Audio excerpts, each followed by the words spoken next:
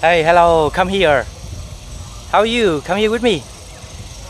Oh, my lovely buffalo. You have a good family now. I want to talk with you. Is that alright? What's your name? How are you?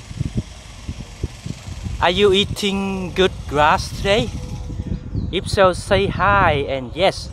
Okay, my friend, my lovely friend, come here. Okay, thank you and have a good day.